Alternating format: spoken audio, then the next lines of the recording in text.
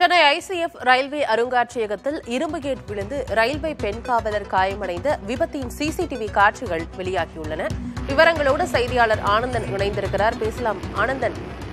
முதல்ல காயமடைந்த பெண் காவலர் அவருடைய நிலை எப்படி இருக்கு. இரும்பு கேட் விழுந்துருச்சுன்னா நீண்ட நாட்களாகவே பழுதடைந்து காணப்பட்ட இரும்பு கேட் அது?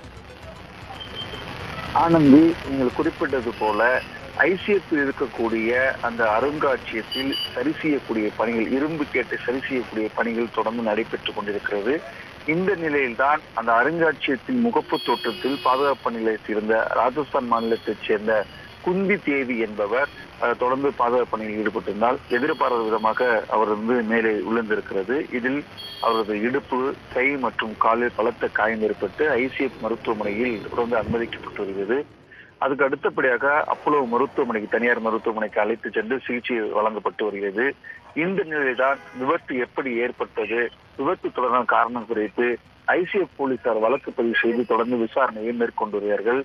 தொடர்ந்து சிகிச்சை வந்து அளிக்கப்பட்டு வருகிறது. சிகிச்சை தொடர்ந்து அளிக்கப்பட்டு வரக்கூடிய நிலையில அவர் உடல்நிலை குறித்து தொடர்ந்து ஐசிஎஃப் நிர்வாகம் வந்து கேட்கப்பட்டு வருவதாக நமக்கு தகவல் கிடைத்திருக்கிறது.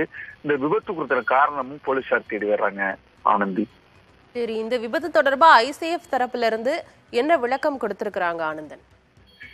சரி செய்யக்கூடிய பணி அதாவது சென்னை ஐசிஎஃப் அருங்காட்சியத்தில் பத அருங்காட்சியத்தில் முகப்பு தோற்றத்தில் இந்த கேட்டு வந்து சரி செய்யக்கூடிய பணி தொடர்ந்து நடைபெற்றுக் கொண்டிருக்கிறது. எதிர்பாராத விதமாக இது வந்து விபத்து ஏற்படுத்தியிருக்கிறது.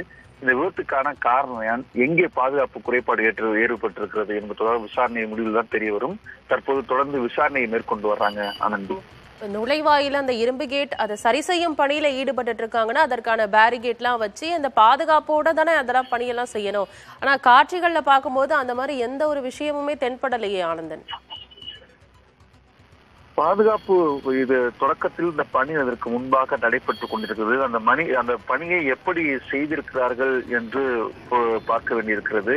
நீங்க காட்சியில் பார்த்து கொண்டிருப்பது வந்து ஆஹ், அந்த பணியில் முடிந்த பிறகு இந்த விபத்து ஏற்பட்டிருக்கிறது என்பது தெரிய வந்திருக்கிறது. இதுக்கான காரணத்தை தொடர்ந்து விசாரணையை தீவிரப்படுத்தியிருக்காரு. பணிகள் எப்படி நடைபெற்றது என்பதோ தெரிய வரும். தற்போது வந்து இந்த காட்சி வந்து வெளியாகிருக்கிறது இந்த காட்சியுடைய பின்னணி என்ன எப்படி இந்த விபத்து ஏற்பட்டது இந்த காட்சி மையமாக வைத்து விசாரணையை தீவிரப்படுத்துவார்கள். அஹ் இந்த விபத்து குறித்துக்கான காரணத்தை காவல்துறையும் தீவிரமாக ஆராய்ந்து வர்றாங்க ஆனந்தி. நன்றி ஆனந்தன்.